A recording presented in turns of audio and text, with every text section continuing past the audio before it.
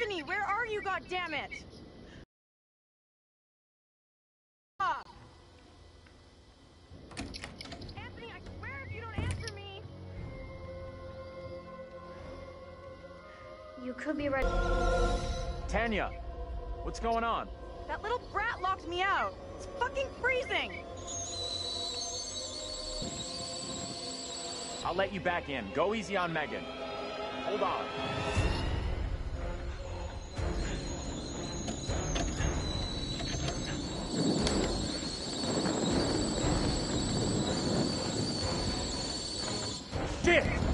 Megan!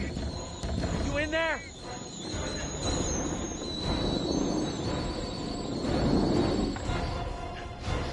The kitchen's on fire! Are you fucking serious?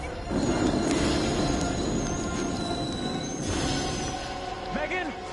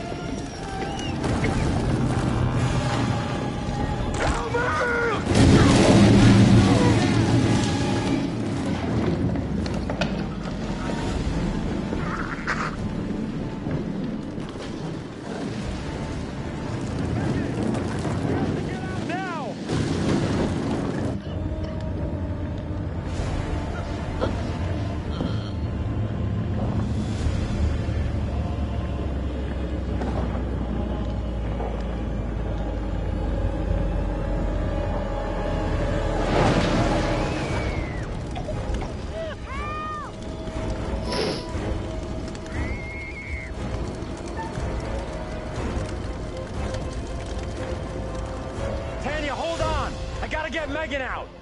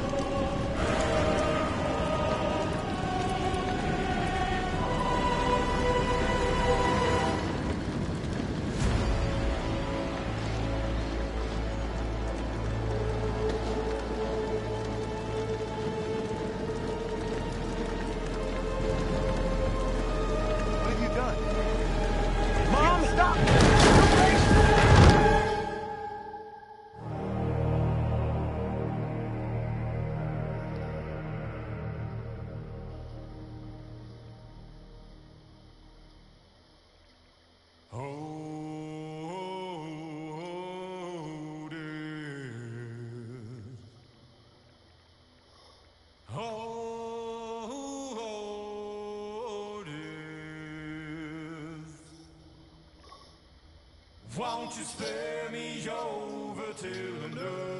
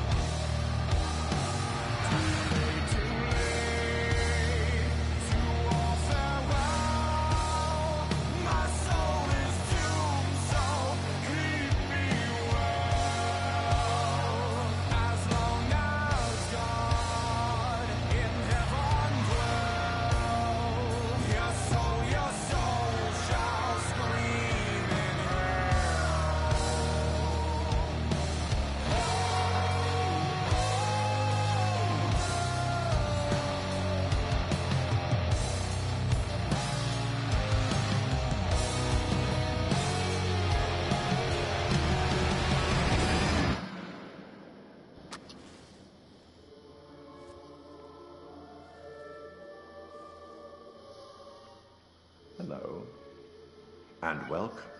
I don't believe that we've met before, have we? No matter. Welcome to my repository. I am the curator, the guardian of all these wonderful stories. And I have a very special tale for you to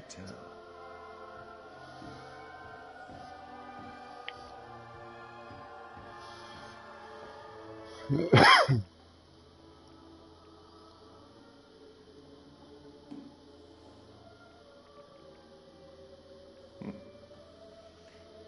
Disconcerting, no? I'm sure there's nothing to worry about. This particular story isn't fully fleshed out. It's only part written, and the choices you make will complete it. The fire. No, there was nothing you could have done about that. What's happened has happened. Or has it? Anyway, look to the future, I say. Life's but a walking shadow, eh?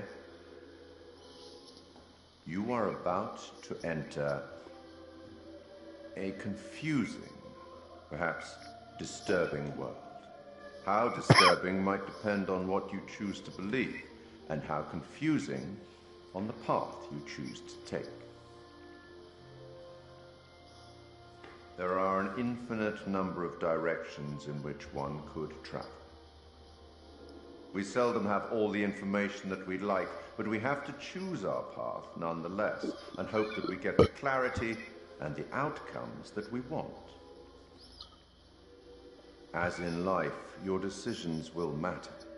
The choices you make will affect others. You've seen how the story starts. So much death. How many more deaths is entirely up to you. It depends on the decisions that you make.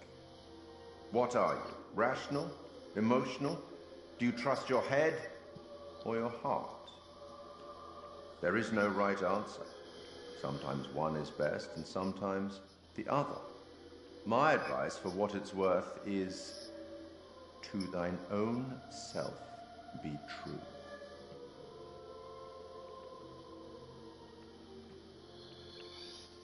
But uh, I'm here simply to record what you do, not to help you. I'm not supposed to interfere, you see. Not my place, apparently. But I am apparently allowed to share wise words from great storytellers that have gone before, where I feel that that would be appropriate. Oh, one final thing before I let you go. There are pictures in Little Hope that will, if found, show you a vision of a happen. Use them. They might help you.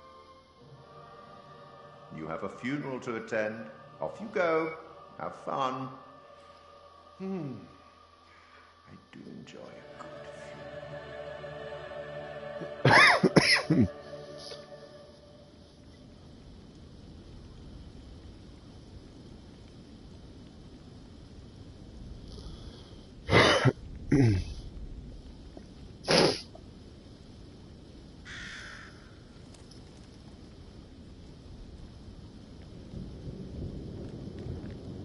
None of us here today can understand why this tragic accident happened.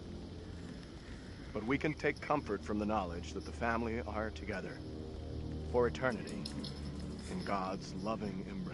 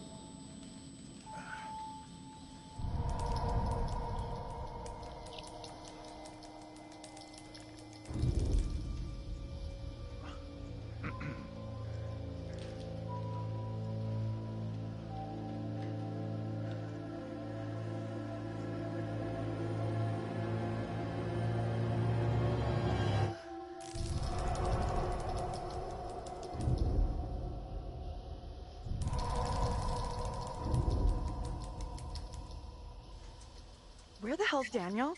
I can't find him. I don't know. Ah! Instead of goofing around, you want to lend a hand here? How is he doing anyway? It doesn't look that serious. Could be concussed. Okay, Professor. Or should I call you Doctor now? Why don't you try calling for help? Maybe the cops, someone like that. Damn, I'd never have thought of that. Ugh, call for help, sure thing, Professor. Good job you're here.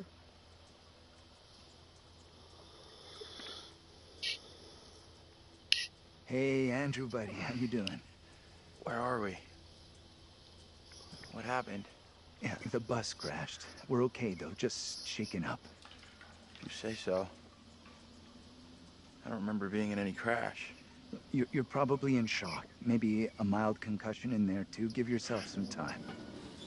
Stay here. Don't move.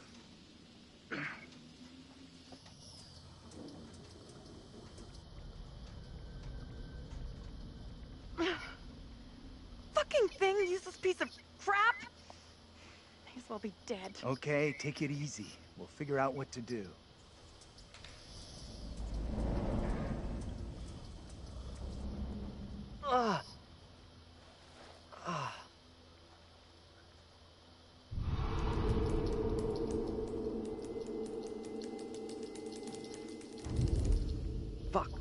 Where's my phone?